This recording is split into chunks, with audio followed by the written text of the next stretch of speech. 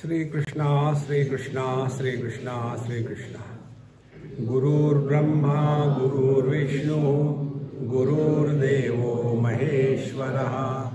गुरु साक्षात् परम ब्रह्म, तस्मै श्री गुरवे नमः। तस्मै श्री गुरवे नमः। Let us read from first shloka. ईशावास्यमिदं सर्वम्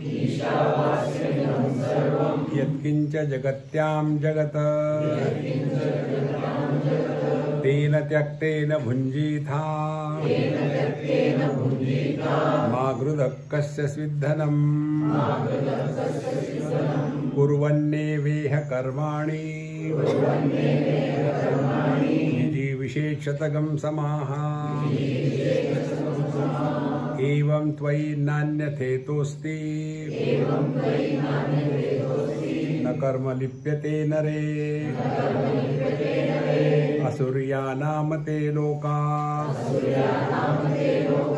अन्धेन तमसावृताः तांस्ते प्रीत्याभिगच्छन्ति। ये केचात्महनो जनाः। अनेजदेकं मनसो जवीयो। नैनद्देवा आप्नुवन् पूर्वमर्षत। तद्धावतोऽन्यानत्तेति तिष्ठत। तस्मिन्नपो मातरिष्वा दधाति तदेजति तन्नैजति। तद्दूरे तद्वदन्ति के तदन्तरस्य सर्वस्य। तदु सर्वस्यास्य बाह्यतः। जब विचारों की धारा बड़ी सरल चलती है तो उसमें धीरे धीरे लल्ला भी इफ़ेक्ट हो जाता है। और फिर नींद में प्रवेश बहुत आसानी से हो जाता है। और ये नींद को तोड़ने के लिए हमारे शास्त्रों में कुछ ना कुछ करते हैं। जैसे भक्ति का सत्संग हो। और भक्ति के सत्संग में बहुत सारा आडंबर होगा, क्योंकि जो आते हैं, वो खाने के लिए आते हैं। और उसके बाद जब देखते हैं कथाकार कि अब पब्लिक झपके मारने वाली है, एकदम बांग ठोक देते सिया और रा कुछ तो भी हो गया। इसी प्रकार से हम जब देखते हैं, जहाँ जहाँ योग होता है ना वहाँ मैंने किसी को देख लिया है।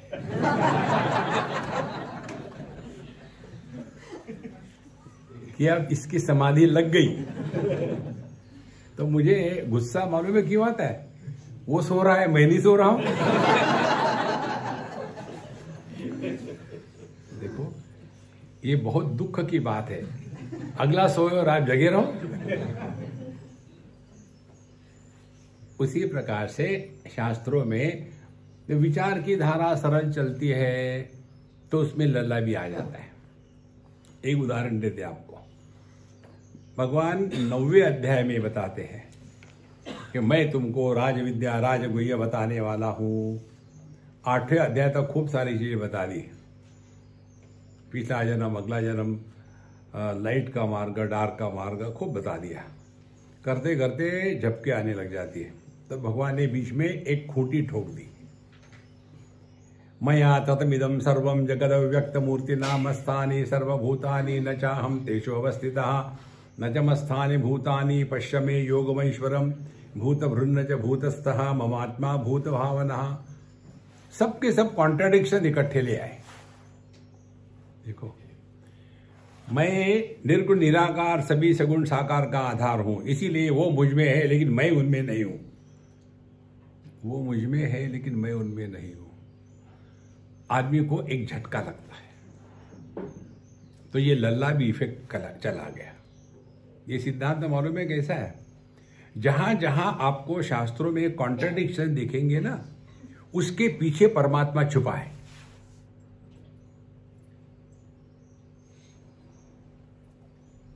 सुख, दुख, इसके पीछे छुपा है परमात्मा। यदि हम सुख में आने के बाद फुदकने लगेंगे और दुख में आने के बाद रोते रहेंगे तो हम भगवान को मिस कर जाएँगे। तो फिर क्या? जो सुख को प्रकाशित कर रहा है, वही दुख को प्रकाशित कर रहा है और इसीलिए सुख दुख जो एक दूसरे के विरोधी है, उसका दोनों का जो आधार है, वो अपन का स्वरूप है महाराज। तो जहाँ जहाँ हमारे शास्त्रों में यह विरोधाभास आता है, द्वंद्वात्मक प्रतिपादन, वहाँ समझ लेना, जरा शांति से चलना। देखो, जैसे आप कभी गए होंगे पठानकोट से जम्मू की तरफ़, बिल्कुल सीधा रास्ता है, बहुत बढ़िया रास्ता है। कोई प्रॉब्लम ही नहीं, सीधे चल रहा हो गाड़ी चल रही है तो झपके आ जाती है। बीच में स्पीड ब्रेकर है। स्पीड ब्रेकर आया, झटका लगता है अच्छा अच्छा ठीक है, गाड़ी चला रहा हूँ। इसी प्रकार से यहाँ भी खूब बताया असुर्या नामते लोकांधीन तमसा व्रता और ये सबको बताया, फिर, अनेज देकम मनसो जबीयो हाँ समझ में आ गया, समझ में आ गया। और ये करते करते झपकी भी आ गई। फिर यहाँ इन्होंने कॉन्ट्रडिक्शन इंट्रोड्यूस किए। तद ए जति तन्न ए जति देखो, वो किसी प्रकार से विकारों से प्रभावित नहीं होता, प्रभावित होता भी है, वो हिलता भी नहीं, हिलता भी है। एक ही वस्तु दो कैसे हो सकती है? जो हिल रहा है, वो नहीं हिल रहा। जो नहीं हिल रहा, वो हिल रहा, कैसे हो सकता है? तदे जति तन्ने जति फिर आदमी थोड़ा विचार करने लग जाता है। इसी प्रकार से तद दूरे तद्वदंतिके क्या दूर है और क्या नज़दीक है? एक ही वस्तु दूर और नज़दीक कैसे हो सकती है? फिर आदमी चिंतन करने लग जाता है। दूर और नज़दीक क्या क्या है? चिंतन करो। मैंने टोपी निकाली नहीं थी, इसलिए दिमाग गर्म है। देखो। तो क्या दूर है, क्या नज़दीक है? आकाश दूर है। आकाश अंदर है, दूर भी है, नज़दीक भी है। इसका अर्थ क्या निकला? हम आकाश में है कि आकाश हम में है? देखो, इसको विपर्य कहते हैं। हमारी इस समय की समझ क्या है? हम देह के अंदर है। हमारे तैतीय उपनिषद में विषय आता है। अन्नमय कोशा अन्योतर आत्मा प्राणमय, फिर मनोमय, फिर विज्ञानमय, फिर आनंदमय, और उसके नीचे परमात्मा, आत्मा एक तिल के सीड के जैसा बैठा हुआ है सफोकेट हो रहा है। देखो इसीलिए कितने लोग ध्यान के लिए बैठे थे करते विश्व मत करना, जा रहा जा रहा, निकल गया। देखो महाराज वास्तविकता क्या है? प्राणमय कोश में अन्नमय कोश है। प्राणमय कोश आधार है, अन्नमय कोश आधेय है। फिर मनोमय कोश में अन्नमय और प्राणमय दोनों कोश है। देखो, ये तीनों कोश विज्ञानमय कोश में है। विज्ञानमय कोश आनंदमय कोश में है। आनंदमय कोश पर हेड एक नहीं होता। अन्नमय कोश अलग अलग है प्राणमय कोश अलग अलग है, मनोमय अलग है, विज्ञानमय अलग है, आनंदमय कोश एक है। देखो महाराज तो सबका सब उसी में है, लेकिन भ्रांति हो जाती है कि आनंदमय कोश अंदर में है और आनंदमय कोश के पीछे में आत्मा बैठा हुआ, सफोकेट हो रहा है वो। ये जो विपर्य है, उल्टी समझ है, इसको ठीक करने के लिए ऐसे कॉन्ट्रडिक्शन हमारे शास्त्रों में आते हैं। तो तद दूर है तद्वदंत के क्या दूर है, क्या नज़दीक है? देखो, जो अज्ञानी है, उसके लिए परमात्मा बहुत दूर है। और जो ज्ञानी है, उसके लिए नज़दीक है। देखो। जैसे ही हम कभी कंप्यूटर का काम करते कोई चीज़ हमको मालूम नहीं, हमारे लिए बड़ी कठिन है और हमारा जम्बूरा एक क्षण में ठीक कर देता है। तो जो मेरे लिए बड़ी कठिन बात है ज्ञानी के लिए वो चुटकी का काम है। तद दूरे तद्वदंत के। और इसके कारण फिर हम लोग परेशान रहते हैं। आत्मा कब मिलेगा? कौन सा आत्मा चाहिए? सीएच आत्मा? कि महात्मा। इसीलिए अपना जो मंत्र है, उसको याद रखा। क्या मंत्र है? ना कुछ पाना, ना कुछ खोना। क्या करोगे आत्मा को पा करके? पकोड़े बनाओगे? जिसकी प्राप्ति होगी, वो नष्ट होगा। हमने पहले मंत्र में इसका अर्थ देखा है। कर्म के द्वारा जो उत्पन्न होता है, वो नष्ट होता है। कर्म के द्वारा किसी की जो अप्राप्त है, उसकी प्राप्ति होती है। कर्म के द्वारा जो अशुद्ध है, उसकी शुद्धि होती है। ये सब चक्कर अपने में नहीं है। हम जो के त्यों हैं। इसीलिए यह जो विरोधाभास है, ये हमको विचार करने को लगाता है। तदे जति, तन्न ए जति। बदलती हुई उपाधियों के साथ रहने के कारण नहीं बदलने वाले पर वो बदल या परिवर्तन अध्यारोपित किया जाता है। जैसे गाड़ी चल रही, हम बैठे हैं। तो हम क्या कहेंगे कि हम गाड़ी में बैठ के आए। अरे गाड़ी तो चल रही थी फिर तुम तुम चल रहे थे, हम तो बैठे थे। तो गाड़ी की गति बैठने वाले पर अध्यारोपित करेंगे। इसी प्रकार से तद दूरे के जो इस अज्ञान में फंसा है, उसके लिए परमात्मा बहुत दूर है, और जो अपने स्वरूप में उसके लिए चुटकी का खेल है। इसीलिए पतंजलि महर्षि जो कहते हैं ये बहुत महत्व का सूत्र है। प्रयत्न शैथिल्य अनंत समापत्तिभ्याम। आपके जीवन में जितनी प्रयत्न की शिथिलता होगी, उतनी मात्रा में आप अपने स्वरूप के पास हो। परेशान मत होना, आत्मा आत्मा, कहाँ मिलेगा कहाँ मिलेगा? कुछ नहीं मिलेगा किसी को। देखो, जो ऊँचा सुनते हैं उनको सुनने के लिए प्रयत्न करना पड़ता है। प्रयत्न करेंगे तो थक जाएँगे। थक जाएँगे तो भाई waste time go to sleep देखो, और जो नॉर्मल सुनने वाले हैं, वो घंटे भर सुनते रहेंगे, आराम से कोई परेशानी नहीं। तात्पर्य, जहाँ हम अपने स्वरूप से दूर चले जाते हैं, वहाँ प्रयत्न का प्राधान्य होता है। जहाँ हम अपने स्वरूप के पास है, कोई प्रयत्न नहीं। जब हमारा स्वास्थ्य ठीक है, फेफड़े ठीक है तो सांस लेने में कोई प्रयत्न है क्या? पता ही भी नहीं चलता कि हम सांस ले रहे लेकिन ग्रैंड मदर इन लॉ आ गई तो? मालूम है ना grand mother in law? Asthma. जब वो आ गई तो फिर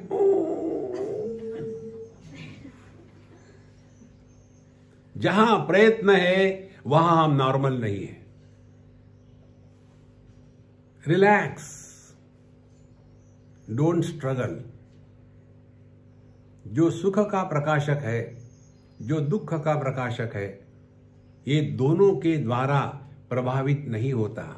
क्योंकि नियम क्या है? प्रकाशक प्रभावित नहीं होता। इसको दस बार हम कह रहे हैं, हमको याद है, एक आध बार तो क्लिक होगा। लाल रंग को देखा तो आँखें लाल नहीं होती, पीले को देखा तो पीली नहीं होती। लंबे आदमी को देखा तो आँखें लंबी नहीं होती। क्योंकि वो प्रकाशक है। यह जो अपना स्वरूप है, उसको लखाने के लिए तद दूरे तद्वदंति के तदंतर से तदु सर्वस्या बाह्यता। फिर देखो, वो अंदर भी है, बाहर भी है। आकाश कमरे के अंदर भी है, कमरे के बाहर भी है। इसका अर्थ क्या निकला? इसका अर्थ ये निकला, आकाश के दृष्टि से देखो तो अंदर बाहर मिथ्या है। और कमरे की दृष्टि से देखो तो अंदर बाहर सत्य है। अब आप कमरे के जगह में अपनी कमर कमर नहीं, कमरा रख लो। एक अम्मा मुझे कह रही थी, स्वामी जी, मुझे वज़न कम करना है, क्या करना पड़ेगा? हमने कहा, वज़न कम तब होगा जब कमर होगी तब, तुम्हारा कमरा है। कमरे का वज़न कम नहीं होता। देखो, हमारा ध्यान जब तक के देह के तरफ़ है, तब तक के अंदर बाहर का चक्कर बना रहेगा। इसी को जो हमने बताया था ना, बाहर की हवा, अंदर की हवा, दोनों का संपर्क टूट गया। तो सिनेमा खत्म। तो हवा देह के अंदर नहीं है, देह हवा के अंदर है। जो विषय मन में नहीं होता, प्रवेश नहीं करता, उसकी सत्ता हमारे लिए नहीं होती। देखो तो विषय जहाँ है, वहाँ भी मन है, और जिसको ज्ञान हो रहा, वहाँ भी मन है। तो मन के दृष्टि से देखो तो अंदर बाहर कुछ नहीं है। पानी के दृष्टि से देखो तो समुद्र कारण और लहरे कार्य मिथ्या। अपने दृष्टि में परिवर्तन लाना इसीलिए इस उपनिषद का पहला ही मंत्र है। ईशावास्यमिदम सर्वम यत किंच जगत्याम जगत। ये दृष्टि में परिवर्तन लाना है। सापेक्षता से हट करके संपूर्णता में प्रवेश करना है। नहीं तो मैं अरु मोर तोर तय माया, इसी में पूरे जीवन में फंसे रहेंगे। तदंतर से सर्वस्व उसके सिवा हमारी जीवनी असंभव है, लेकिन बाहर भी वही है। देखो, बाहर भी आकाश है, अंदर भी आकाश है। बाहर भी हवा है, अंदर भी हवा है। बाहर भी मन है, अंदर भी मन है। अंदर बाहर की कल्पना औपाधिक होती है। विवाह के बाद लड़की अपने नए घर जाती है तो वो अंदर की हो गई। डाइवर्स होने के बाद बाहर की हो गई। देखो, कहाँ है अंदर बाहर? इसीलिए महाराज, जब तक के देहात्म भाव की निवृत्ति, ये साधना का लक्ष्य हम स्वीकार नहीं करेंगे, तब तक के कुरुते गंगा सागर गमनम, व्रत परिपालन अथवा दानम। नहीं तो अग्रे वन्नी पृष्ठे भानो, रात्रो चुबुक समर्पित जानू। कुछ नहीं होने वाला। और जितना हमारा देहात्म भाव कम होगा, उतना हम हल्के फुल्के होंगे। वज़न से नहीं, वज़न उतना ही रहेगा। देखो तदंतरस्य सर्वस्य, तदु सर्वस्यास्य बाह्यतः। ये जो चाबी है, ये हमारे जेब के अंदर है। जो फ़ोन है, जेब के बाहर है। तो अंदर बाहर के लिए रेफरेंस क्या है? जेब। देखो, मैं अंदर हूँ, आप बाहर हो। अंदर बाहर का रेफरेंस किसके कारण है? देहात्म भाव के कारण। समझो, हम सभी के सभी इकट्ठे सो गए। देखो तो कौन अंदर है, कौन बाहर है? देखो महाराज, यह भ्रांति का त्याग करना, यही इसके लिए बताया है तदंतर से सर्वस्व तदु सर्वस्या से बाह्यता। अब यह जब ज्ञान दृढ़ हो जाता है तो फिर उसकी अनुभूति की, अभेद की, जो एकमेवा द्वितीय है, उसके अनुभूति का विश्लेषण अगले मंत्र में कहते हैं, यस्तु सर्वाणि भूतानि। आत्मन्येवानुपश्यति।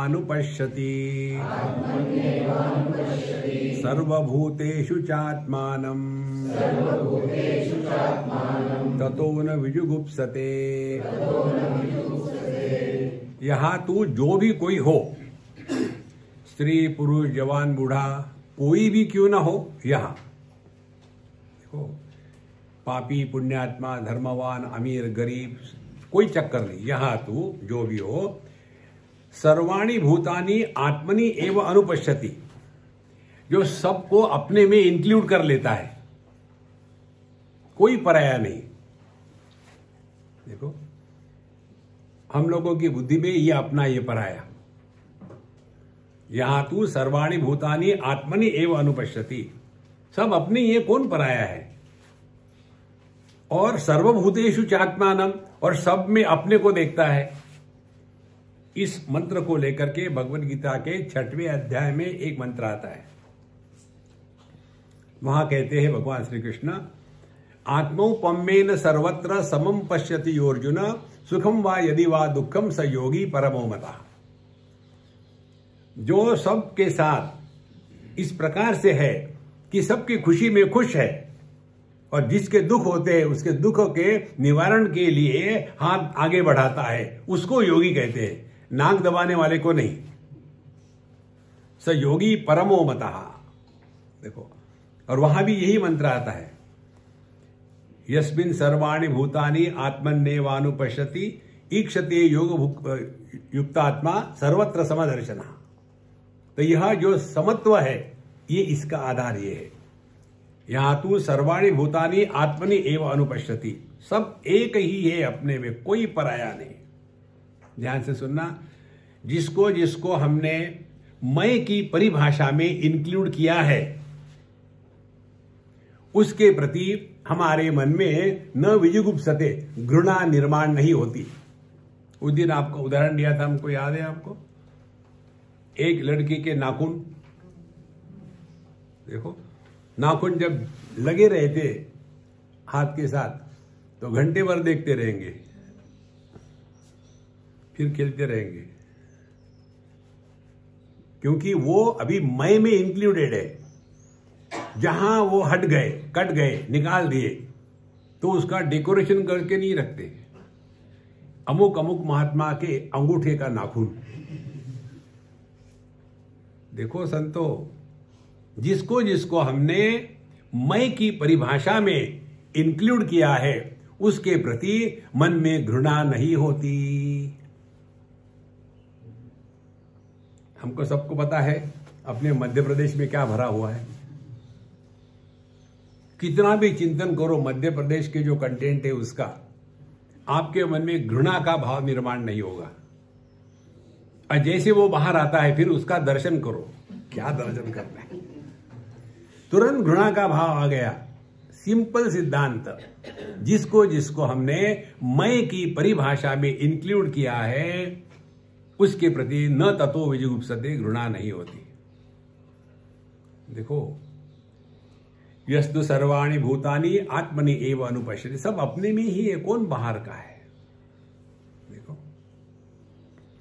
फिर सर्वभूतेषु चात्मान दूसरी दृष्टि से। सब में अपनी है कैसे?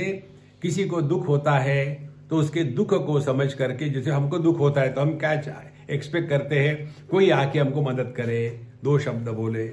इसी प्रकार से किसी के दुख को लेकर के उसको दुख से हटाने का प्रयत्न करना यह आत्मभाव है। देखो तो यस्तु सर, सर्वाणी भूतानी आत्मन्यवानुपश्यति, सर्वभूतेषु चात्मान न ततो विजुगुप्सते। उसके अंतकरण से घृणा हमेशा के लिए निकल जाएगी। एक बात आपको बताते हैं। एक बार हम शिरडी गए थे। हम जाते कभी कभी जब बुलाया आता है तब। और वहाँ हमको काफ़ी लोग जानते तो हमको स्पेशल फटाफट दर्शन मिल जाता है। और फिर स्पेशलिटी होती है कि हमको कोई धक्का नहीं लगाएगा। हम आराम से नमस्कार कर सकते लेकिन हमको तीन चार सेकंड भी नहीं लगते, हम जाके मत्था टेकते राम राम करके निकल जाते हैं।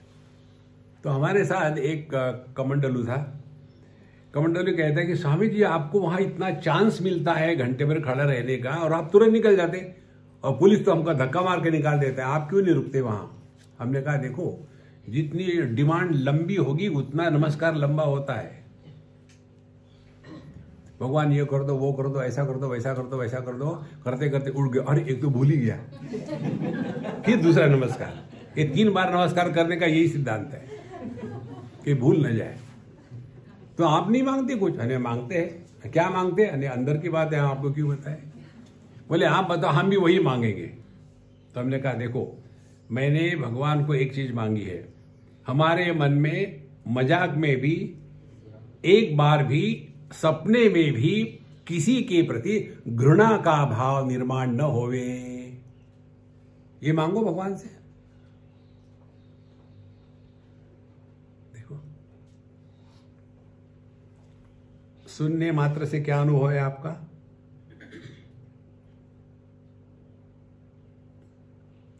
न ततो विजुगुप्सते। घृणा ही द्वैत का प्रतिपादन करती है। घृणा ही भेद का निर्माण करती है। हम सबसे प्रेम नहीं कर सकते, कोई बात नहीं। घृणा किसी से नहीं करना। न तत्व विजुगुप्सते। और यह अभ्यास करते करते फिर हमको पता चलता है कि हम कभी भी कोई खास चीज़ के लिए एक दूसरे से द्वेष नहीं करते छोटी मोटी चीज़ के लिए। जैसे हम दुखी होते हैं छोटी मोटी चीज़ के लिए। बड़ी चीज़ के लिए कभी दुखी नहीं होते। हम अमेरिका के प्रेसिडेंट नहीं बन सके, बड़े दुखी हैं। है कभी कोई दुखी? हमारे दुख का चक्कर क्या? सुबह चाय नहीं मिली। दरिद्री लोगों का दुख भी दरिद्री होता है। दुखी हो। जैसे भगवान रामकृष्ण परमहंस दुखी होते थे। आज भी माँ मेरे से बात नहीं करी और वो लोटपोट हो जाते ज़मीन पर। और हम भी होते नहीं मिली लोटपोट। देखो संतो, न ततो विजुगुप्सते, अपने मन से घृणा को हमेशा के लिए निकाल डालो। देखो हम क्या कह रहे हम ये नहीं कह रहे सबसे प्रेम करो। प्रेम नहीं किया तो कोई बात नहीं। घृणा मत करो। एक बार कलकत्ते में हमारी ध्रुव जी के ऊपर कथा चल रही थी, भागवत का प्रसंग। और एक दिन हमारा सत्संग हो गया और एक अम्मा आई और मुझे कहती, स्वामी जी, आपने मेरे जीवन की समस्या का हल कर दिया। हमने कहा अच्छी बात है। बोले, मालूम है कैसा? नहीं मुझे मालूम नहीं। तुम्हारी समस्या, तुम्हारा हल हो गया। मुझे कोई फ़र्क नहीं पड़ता। मैं बताती हूँ बताओ। फिर उन्होंने कहा, मैंने कई बार सत्संग सुना और हर जगह कहते सबसे प्रेम करो, सबसे प्रेम करो। मैंने कितना ट्राई किया, अपनी मदर इन लॉ से मैं प्रेम कर ही नहीं सकती। और मुझे यही दुख होता था कि मैं इतने साल से सत्संग सुन रही हूँ और हर आदमी, हर महात्मा आके कहता है, सबसे प्रेम करो, लेकिन मैं प्रेम नहीं कर सकती, उससे कितना भी प्रयत्न करूँ उसकी कल्पना भी मन में आती है तो मेरे हाथ पैर कांपने लग जाते तो मैंने क्या किया? बोले, आपने एक बहुत बढ़िया बात बताई। ये मेरी बात नहीं, हम तो कन्हैया के हैं ना तो चुरा के है। भगवान स्पष्ट कहते हैं इंद्रिय से इंद्रिय से राग द्वेशो व्यवस्थित हो तयो वशम न आगछेद तो यस्य परिपंथी हो सबके प्रति प्रेम होना असंभव है। कोई ज़रूरत नहीं प्रेम नहीं तो फिर घृणा मत करो। उदासीन वदासीनम रिमेन इंडिफरेंट तब जाकर के अपने मन की शांति बनी रहेगी। इसीलिए यहाँ जो बताते हैं, बड़ी स्पष्ट बात बताते हैं कि न ततो विजुगुप्सते। अंतकरण में विजुगुप्सा, घृणा किसी के भी प्रति मज़ाक में भी नहीं होनी चाहिए। देखो, डांटो, गुस्सा करो, झगड़ा करो, लेकिन घृणा मत करो। देखो, घृणा का भाव तभी आता है जब हमने किसी को अपने से अलग काट के फेंक दिया है। ये कभी ना हो। अच्छा एतमेव अर्थ अन्यापि मंत्र आह। आप यही बात दूसरे मंत्र में भी बताते हैं सातवां मंत्र यस्मिन् सर्वाणि भूतानि। आत्मैवा भूतविजानतः। तत्र को मोहकः शोकः एकत्वमनुपश्यतः।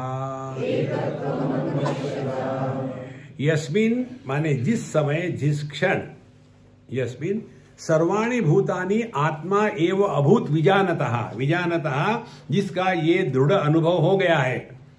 सर्वाणी भूतानी आत्मा एवं अभूत, सब कुछ मेरा ही विस्तार है। देखो, जैसे हमारे अपने शरीर के हर एक अंग के प्रति समान भाव है ऐसे नहीं कि हम दैनी हाथ से खाते हैं तो इसको प्यार करें, बाएँ हाथ से नहीं खाते, इसको द्वेष करें। क्योंकि यशमिन सर्वाणी भूतानी आत्मा एवं भूत सब कुछ मैं ही हूँ।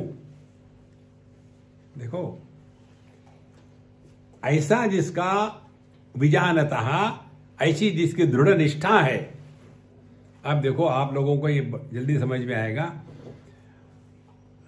शादी होने के पहले लड़का लड़की, जो भी कुछ हो माँ बाप को परेशान करते हैं। देखो।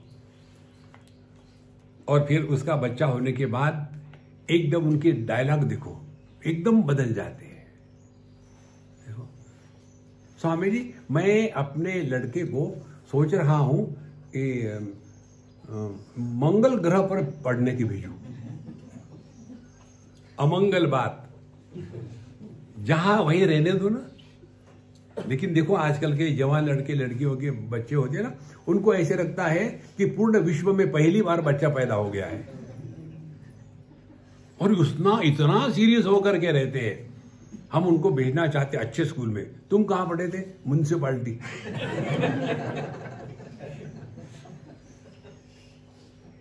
देखो, ये अमीर बाप के अमीर बेटे बड़े बड़े स्कूलों में पढ़ते हैं और क्या निकलते हैं? देखो ड्रग एडिक्ट निकलते हैं। यही चक्कर है, क्योंकि अब मेरा बेटा मेरा बेटा। और ये दादा दादी जो होते हैं ना, ये बदला निकालते हैं। हमारे बम्बई की बात है, एक माँ ने मुझे कहा, स्वामी जी, आप तो हमारे ससुर जी को जानते हैं, ना जानते हैं। देखो ना, मैंने अपने बच्चे को, वो अमेरिकन है, इंडिया में सेटल हो गए। तो मैंने अपने बच्चों को डिसिप्लिन से सिखाना चाहा। चॉकलेट नहीं खाना, ये नहीं करना, इतने बजे सोना। तो मैं जब चॉकलेट नहीं देती तो वो हमारे ससुर की तरफ़ देखता है। ससुर आँख मारते उसको और फिर बाहर हनुमान जी के दर्शन के लिए ले जाते और दो चार चॉकलेट खिला देते हैं। मेरी सब साधना नष्ट हो रही है। देखो थियोरटिकली प्रेम नहीं होता। समझदारी से होता है। ये दूसरा सिद्धांत, बुढ़ाओ पति पत्नी साथ में प्रेम से नहीं रहते। प्रेम खत्म हो जाता है पंद्रह मिनट में। फिर पूरी ज़िंदगी जो साथ रहते हैं, समझदारी के साथ रहते हैं। प्रेम करने में क्या बचा है? एक दूसरे के दो, द्वेष ही और दोष ही चलता रहेगा। लेकिन पता है, अब जाऊ तो जाऊ का। ठीक है, निभा लो। अब तक तो निभाया है, आगे भी निभा लेना। देखो संतो, ज़्यादा गंभीर होकर के अध्ययन नहीं करना। उपनिषद पढ़ रहे माने कोई तीर नहीं मार रहे। और में ब्रह्म। क्या ब्रह्म? प्रवचन करते समय अहम ब्रह्मास्मि, मालूम है? प्रवचन होने के बाद अहम ब्रह्मोस्मि। Relax relax. पूरी भगवत गीता भगवान कृष्ण ने स्माइल ऑन द फेस भगवान कृष्ण यूपी के थे। इसीलिए इस्माइल था। लेकिन फिर हम बात शुरू कर देते हैं, इतनी गंभीरता से, इतनी गंभीरता से अर्जुन सुनता, या भगवान कृष्ण सुनाते तो कभी उसका प्रभाव नहीं पड़ता। ये सामने वाला रो रहा है, भगवान मस्त हंस रहे देखो प्रसन्न व भारत। रोते रोते नहीं बताया। अर्जुन रो रहा, भगवान कृष्ण जुगलबंदी कर रहे हैं। अरे यार, मुझे भी लगता है, चलो बंद कर भागते यार। नहीं don't take life seriously be sincere अंग्रेज़ी में। यस्मिन सर्वाणी भूतानी आत्मा एव अभूत विजानत। अब इसका अभ्यास करें। अब कैसा अभ्यास करें? ये भक्ति की बात आपको बताते हैं। एक सेंटर है। एक शून्य, एक सेंटर वन पॉइंट उसमें आपने एक इंच की रेडियस ली, त्रिज्या। एक चक्कर लगाया, एक सर्कल आ गया। तो जो सेंटर है वो आप है। और जो लाइन है रेडियस की, वो आपकी पत्नी है। तो पहले, शादी के पहले, मैं मैं मैं। ऐसा कहते हैं शादी के पहले अपने कपड़े के शौक पूरे कर लेना चाहिए। शादी के बाद आदमी को कपड़े नहीं मिलते, सबके कपड़े पत्नी के पास जाते हैं। तो पहले सेंटर, अकेला, एक में द्वितीय। पत्नी आई, एक सर्कल। थोड़ा एक्सपांड हो गया। पहले मैं था, अब हम हो गए। फिर एक कैलेंडर छपा। फिर रेडियस और लंबी बढ़ गई। मैं, मेरी पत्नी और मेरा बच्चा। दूसरा सर्कल आ गया। ठीक से समझ लेना, गणित है। फिर तीसरा बच्चा आ गया। Centre, radius one, radius two, radius three, तीसरा सर्कल आ गया। तो क्या हो गया? उतनी मात्रा में ये जो सेंटर है, वो डाइल्यूट होने लग गया। देखो, ये होम्योपैथी का सिद्धांत है। हम पर सभी लोग एक्सपेरिमेंट करते हैं, खाने के, दवाई के। तो हम कहीं थे, कुछ तो कुछ शरीर को होते ही रहता है, शरीर है तो होना ही है। पंचदशी कार कहते हैं, आपको रोग होता है तो अच्छी बात है, आप ज़िंदा हो। मुर्दे को रोग नहीं होता। तो हमको, उन्होंने कहा कि, स्वामी जी, आप फ़िक्र मत करना, मैं आपको दवाई देता हूँ। साबुदाने की खिचड़ी खिला दी। देखो तीन चार गोलियाँ खा दो दूसरा डोज कब? शायद दूसरा डोज छह महीने के बाद। मैं छह महीने के बाद? बोले, ये हाई पोटेंसी है। अब मुझे डर लग रहा है क्या होने वाला है? हाई पोटेंसी हमने कहा, मुझे समझाओ, क्या होती है हाई पोटेंसी फिर उन्होंने समझाना शुरू कर दिया। बोले, एक बूंद दवाई और सौ बूंद पानी। फिर उसको मिक्स किया। वन इज़ टू हंड्रेड फिर उसमें का एक बूंद और फिर हज़ार बूंद पानी और डाइल्यूट हो गया। ये इतना डाइल्यूट करते हैं कि कोई केमिकल प्रोसेस उस दवाई को ढूंढ के भी नहीं निकाल सकती। इतनी डाइल्यूट फिर इसकी जितनी डाइल्यूट होगी, उतनी पोटेंसी बढ़ती है। और फिर वो हाई पोटेंसी दवाई जाकर के डायरेक्टली आपके न्यूक्लियस पर काम करती है। जब उन्होंने बताया, हमने कहा, आपने मुझे बहुत बड़ा ज्ञान दिया है धन्यवाद, गुरु महाराज, धन्यवाद। बोले, क्या ज्ञान है? ध्यान से सुनना। मैं मैं मैं। मोहनदास करमचंद गांधी। और वही जब धीरे धीरे डायलूट होने लग गया out of one Mohandas, Mahatma Gandhi हो गया। यस्मिन सर्वाणी भूतानि आत्मा एव अभूत विजानता जितना अपना मय डायलूट होता है, उतनी मात्रा में प्रभु प्रकट होते हैं। ये इसका तात्पर्य है। फिर अपना पराया कोई है ही नहीं। समूहम सर्वभूतेषु, भगवान कहते भगवत गीता में समूहम सर्वभूतेशी भूतेषु, न मे द्वेशोस्ति न प्रिया।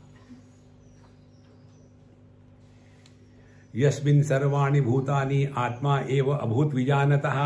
अब ये जो सेंटर है, इस पर कितने भी आप सर्कल कराओ तो उस पर बोझा पड़ेगा क्या? लेकिन उसके सिवा सबकी सत्ता नहीं है। तो ये जो एक मय है, जो इस संपूर्ण विश्व का आधार है, सबका आधार होते हुए भी किसी का प्रभाव जिस पर नहीं पड़ता। भगवान रमन महर्षि कहते हैं, अहम नाश भाजी, अहम अहम तया, स्फुरत हृत स्वयं परम पूर्ण सत। वो बात यहाँ कह रहे हैं। देखो महाराज जी छोटे मय को हटाओ। इतना ही अपना काम है। बड़े मय को लाना नहीं पड़ता, वो है ही वहाँ। अपने कमरे की दीवारें तोड़ो तो महाआकाश से मिलने के लिए कुछ करना नहीं पड़ता। देहात्म भाव से निवृत्त हो गए। तो सबके साथ एक हो गए। लेकिन मैं मैं, मेरा मेरा, मैं अरु मोर तोर तय माया, इसी में फंसे रहते हैं। और ये जब हो जाता है, तत्र क मोह कश्यो कहा फिर कौन सा मोह होगा? ये मेरा है, ये तेरा है। देखो, सभी की सभी समस्या यही है। भगवत गीता में भगवान ने अर्जुन को ज्ञान नहीं दिया। और अर्जुन ने भी ये नहीं कहा कि मुझे ज्ञान मिल गया। भगवान ने अर्जुन को पूछा, कचित एत श्रुतम पारस त्वया एकाग्रेण चेतसा, कचित अज्ञान सम्मोह प्रनश्य धनंजय। ये पूछा। अर्जुन भी ये नहीं कहता, मुझे ज्ञान हो गया। वो भी कहता है, नष्टो मोहा स्मृति लब्धा, तत्प्रसादात्मया च्युत। यहाँ कहते हैं, तत्र को मोहा। जब मोह खत्म हो गया तो अपने आप की आइडेंटिटी क्राइसिस की समस्या खत्म हो गई। हमारी यही समस्या है, मैं देह हूँ। फिर टू जी स्कैम शुरू हो जाता है। मैं देह होने के बाद फिर मैं पति, मैं पत्नी, मैं भाई, मैं बहन, मैं सास, मैं ससुर, और ये सारे के सारे ससुरे हमारा जीवन सत्यानाश कर देते हैं। देखो संतो, मूल यही है। इसीलिए बाकी का आप कुछ करो ना करो, ठीक है अपनी जगह में। लेकिन ध्यान इधर रखना है। कर्माणी चित्त शुद्धार्थम कुछ पाने के लिए नहीं। जैसे जैसी ये सूक्ष्मता बढ़ती है ना अध्यात्म की, तब आप देखेंगे लाइफ बड़ी लाइट हो जाती है। तत्र को मोह मोह नहीं होगा तो शोक नहीं होगा। देखो, हमारा पूरा जीवन शौक में ही जाता है। शौक करने का शौक है। कितना शौक करेंगे? इसलिए यस्मिन सर्वाणी भूतानी आत्मा एवं अभूत विजानत, तत्र को मुहा का शोक क्यों? एकत्व अनुपश्यत देखो, हम सभी के सभी इस एक कार्य के लिए आए हैं। यदि कोई आकर के यहाँ नाचने लग गया तो एकदम घटपट होगी ना? कौन आया है बाहर से? क्योंकि हम सब एक प्रकार के यहाँ है जितना हम एक के तरफ़ ध्यान देंगे, उतनी अनेकता का प्रभाव कम होगा। देखो, हम एक देशवासी है, भारतीय है तो ये बंगाल, गुजरात झगड़ा खत्म हो जाएगा। एक हमारे मित्र थे, अमेरिका से आए हुए थे, उस समय हम वहाँ थे तो फिर घूम घाम के इंडिया से वापस आए और हमको कहते कि हम गए थे, इंडिया में बहुत अच्छा लगा, इतना सुंदर लगा। लेकिन एक ही समस्या रही। हमने कहा, कौन सी समस्या थी? बोले, वहाँ हमने सबको देखा, लेकिन इंडियन एक भी नहीं देखा। क्यों? बोले, वहाँ हमने गुजराती देखे, यूपी के देखे, बिहारी देखे, तमिलियन देखे कन्नडिगा देखे, इंडियन एक भी नहीं देखा। एकत्व अनुपश्यता इस एक को पहचानने के बाद अनेकता का दर्शन, यह समस्या नहीं है। अनेकता के दर्शन के बाद अनेकता को सत्य मानना यह दर्शन है। Perception of differences is not a problem but differentiation on account of the differences is the problem ये हमको अपने आप को बचाना है। एकत्व अनुपश्यता। अब ऐसा जिसके जीवन में हो गया है, अब उसकी कहानी बताते हैं। सपर यगा शुक्र मकायम अव्रणम। गड़ गड़ गड़ गड़ गड़ गड़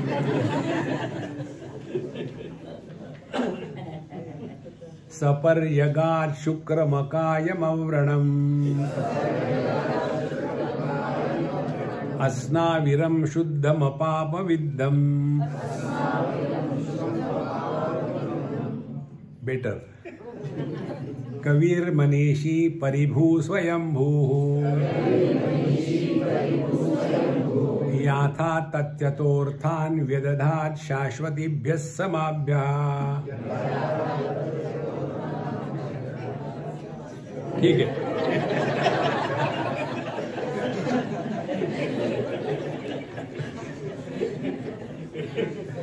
क्यों ऐसा लिखते हैं? अंग्रेज़ी भी क्यों नहीं लिखा? देखो महाराज। देखो, गम धातु जो होता है, गति गति युक्त जो धातु है, गम गच्छति, उसका अर्थ ज्ञान में भी होता है, व्याकरण के नियम के अनुसार। गत्यात पर धातु का ज्ञानात्मक अर्थ होता है। तो सपर्यगात देखो, जिसने इसको प्राप्त कर लिया है, किसको? पिछले दो श्लोक। यस्तु सर्वाणी भूतानि आत्मन्ने वानुपश्यति सर्वभूतस्तम आत्मान न तदो विजुगुप्सते यस्मिन सर्वाणी भूतानि आत्मन्ने वह पश्यति सर्वभूतस्तम आत्मान ये जो श्लोक जिसने समझ ली है, अपने जीवन में अनुभव लाए हैं, सपरिजगात और कैसे उसने समझ लिया इस तत्व को पहली बार? ऐसा पड़ेगा, शुक्रम। देखो आज शुक्रवार है ना? शुक्रम पवित्र, शुद्ध, प्रकाशमान, से शुक्रम। फिर अकायम, शरीर रहित, माने सूक्ष्म देह रहित। फिर अव्रणम, माने स्थूल देह रहित। अपाप विद्धम माने कारण देह रहित। जिसने इस प्रकार से अपने आप को पहचान लिया है।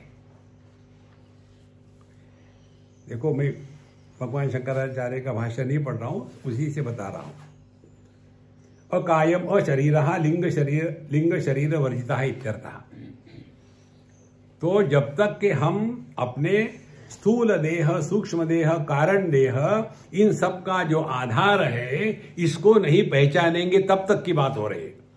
तो जिसने ये पहले दो श्लोकों के अनुसार अपने आप को पहचान लिया है, सब पर ज्ञान शुक्रम अकायम अवरणम अस्नाविरम शुद्धम अपाप विद्धम और इसीलिए उसमें व्यक्त अपाप विद्धम इस बार, कि उसमें अभी मैं जीव हूँ, मैं पापी हूँ, मैं पुण्यात्मा हूँ, ये चक्कर जिसके दिमाग से हट गया है। ये बात ध्यान में रखना। हमारा वेदांत शास्त्र मैं को मुक्त नहीं करता। इसको स्पष्ट समझ लेना। हमको मैं से मुक्त होना है। नहीं तो पहले मैं भोगी था, अब मैं योगी हूँ। मैं जो का त्यों है? देखो, पहले मैं दस बजे तक सोता था। अब मैं पौने दस बजे उठ जाता हूँ। उद्धार हो रहा है।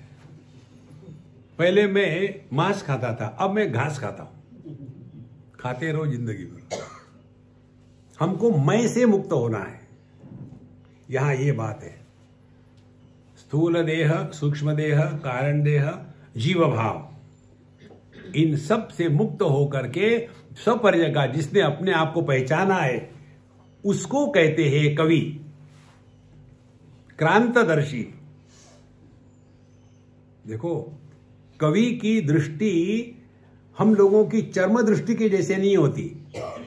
जिसको कहते इंट्यूटिव विजन योग में इसको कहते हैं ऋतम भरा प्रज्ञा।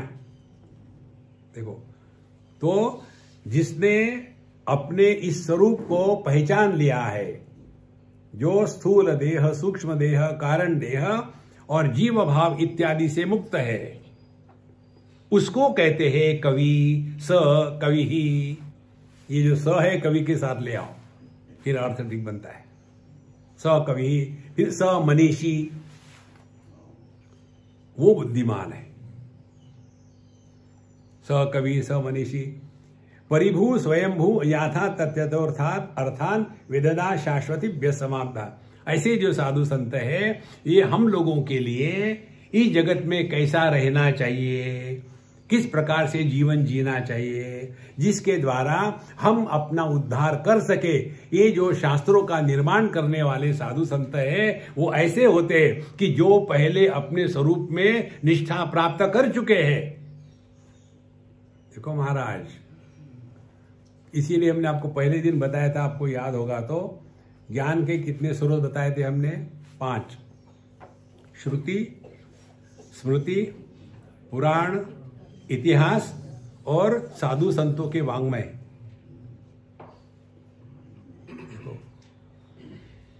तो ये बात यहाँ कहते हैं।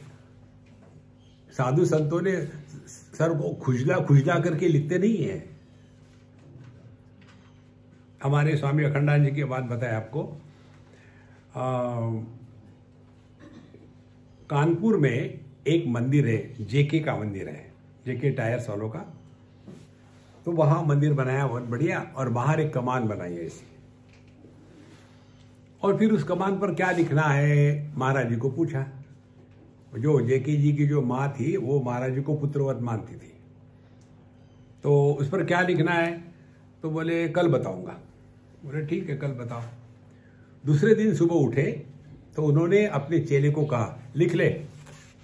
फिर उन्होंने एक मंत्र को डिक्टेट किया, लिख लो। इसको वहाँ लिख दो। फिर चेले ने पूछा कि महाराज जी, ये इसका रेफरेंस क्या है? बोले, मुझे नहीं मालूम। फिर ये आपने कहा है बोला? बोले, कल मैंने देखा इस मंत्र को।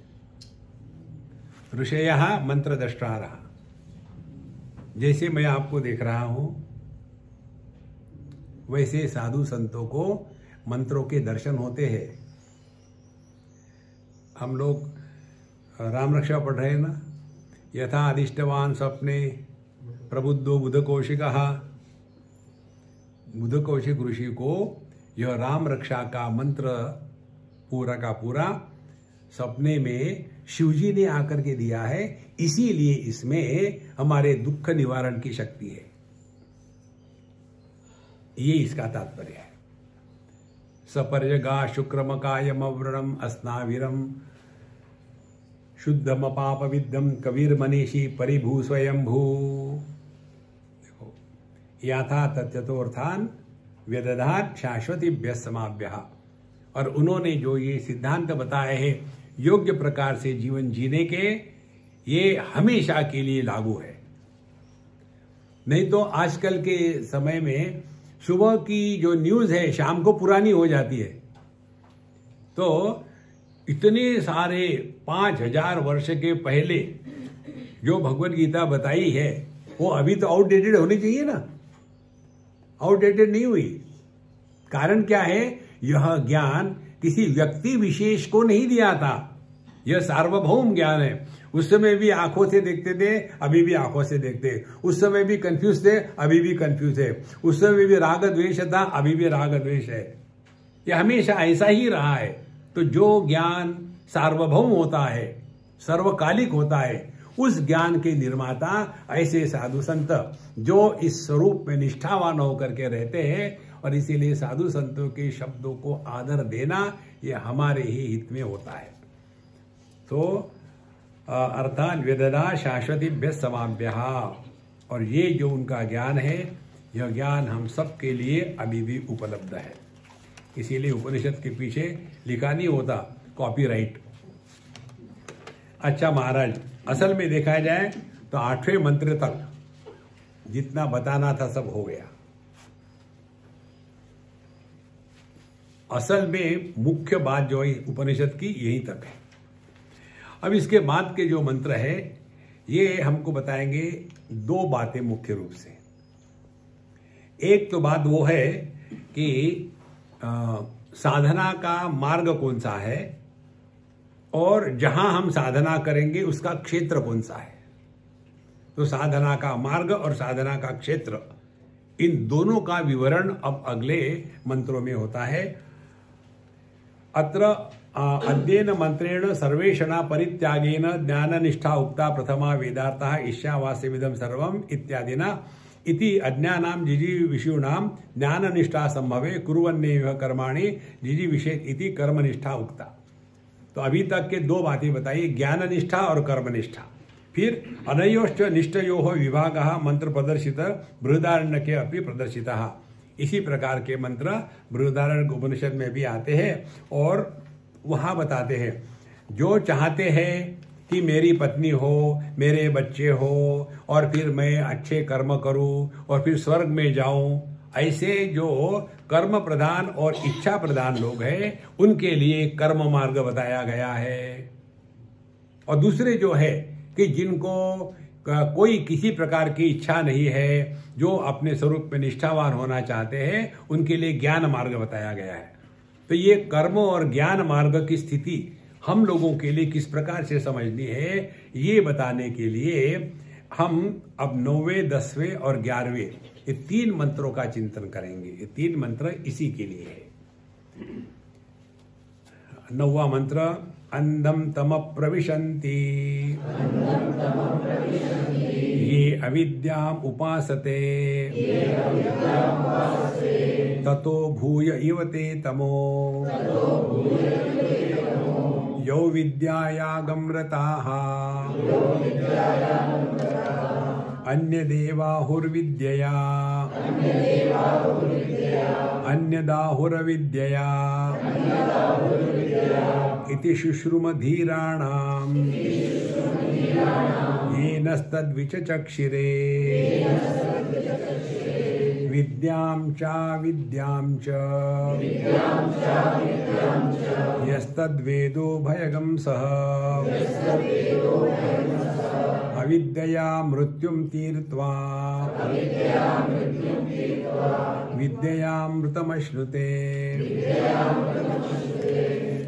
ये तीन मंत्र इकट्ठे लेने से समझ ठीक होती है और आसान होती है।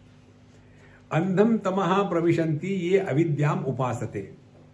जो अविद्या की उपासना करते हैं, वो अंधकार में प्रवेश करते हैं। बिल्कुल सरल बात है। अविद्या माने अज्ञान।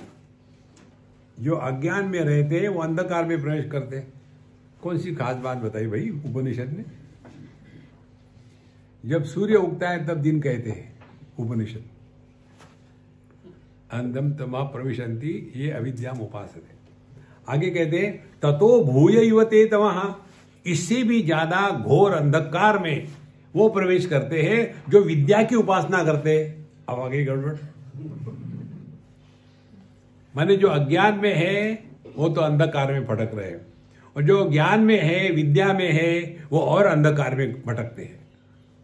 इस समय हमको भगवान शंकराचार्य के भाष्य और रेफरेंस काम आते हैं। इसीलिए उपनिषद स्पष्ट कहते हैं तद विज्ञानार्थम गुरु में वामी गच्छेद समित पाणी ही श्रोत्रिय ब्रह्मनिष्ठम शास्त्रों का अध्ययन कभी भी अपने मर्ज़ी से नहीं करना चाहिए। कई होते हैं, ऐसा करते हैं। अपनी टांगे रख दी टेबल पर, बाएँ हाथ में गिटा दाहिने हाथ में चाय और फिर why they wrote in Sanskrit इससे नहीं होता। हर एक विषय की अपनी भाषा होती है। संस्कृत यह वेदांत नहीं है। देखो, भगवान शंकराचार्य स्पष्ट कहते, संप्राप्ते सन्निहिते काले, नहीं नहीं रक्षते डुक्रम करने आप कौन सी भाषा में बोल रहे हो, उसे कोई मतलब नहीं। मतलब है, आप क्या बोल रहे हो? तो यहाँ ये पारिभाषिक शब्द है। और जब तक के पारिभाषिक शब्दों की बात उसी प्रकार से नहीं समझेंगे, गड़बड़ हो जाएगी। जैसे अपने कंप्यूटर का माउस और असली माउस क्या फ़र्क है? स्पेलिंग भी वही है। और आपने नौकर को बताया यार मेरा माउस ले आना, मुझे काम है। हो गया पिंजरे में, ले बाबा। तो जब तक के हम शास्त्रों की भाषा प्रयोग करके शास्त्र नहीं समझेंगे, तब तक के घोर अंधकार में जाएँगे। अब यहाँ बताते हैं, कदम पुनः एवं ओम अवगम्यते न तो सर्वेशा अब अकाविना साध्य साधन भेदोपमर्देन यस्मिन सर्वाणी भूतानि आत्मा एव अभूत विजानता तत्र को मोह शोक एकत्व अनुपश्यता इति, यदा आत्मक एकत्वेन विज्ञानम उक्तम तन्न, केनचित कर्मणा ज्ञानांतरेण वा ही अमूढ़ समुच्चयति इति।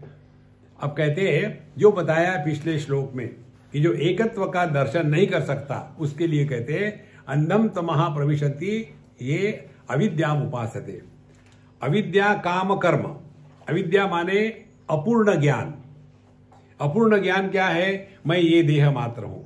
मेरे पास इतना ही है। मुझे वो मिलेगा तो मैं पूर्ण हो जाऊँगा। वो नहीं मिलेगा तो अपूर्ण रहेगा। और इसीलिए उसके प्राप्ति के लिए कर्म करना। तो ये तीन बातों को मिला करके कहते हैं, यह हृदय ग्रंथि। अविद्या काम कर्म। देखो, ये कितनी सरल बात है।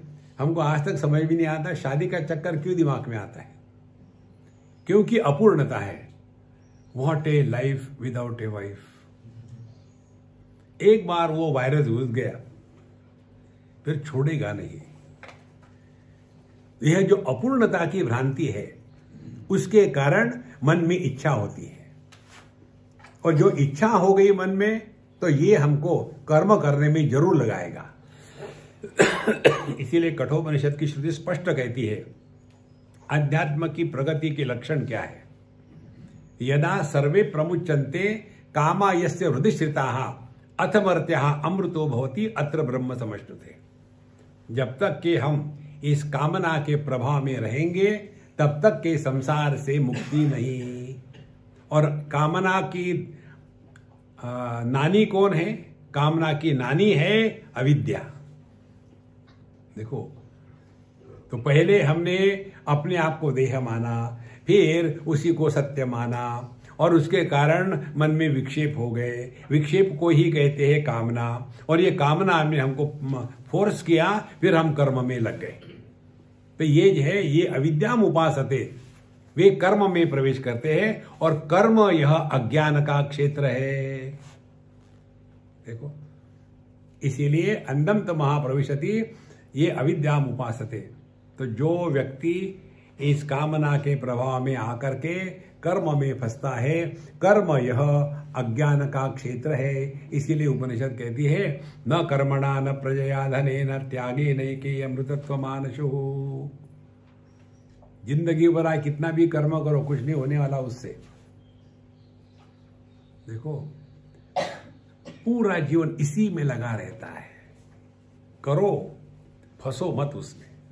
इसी उपनिषद ने बताया कुरबन्ने वेह कर्माणी दिदी विशेषतगम समा। और उसका टेक्निक हमने आपको बताया, अपना मंत्र याद है? Wherever wherever we are whenever we are whatever we are be hundred percent एक बार ये बात हृदय में बैठ गई ना, फिर देखो जीवन में कैसा आनंद आता है। आप सब कुछ करते रहोगे और फिर भी हल्के फुलके रहोगे आपके सर पर बोझा नहीं रहेगा किसी प्रकार का। इसीलिए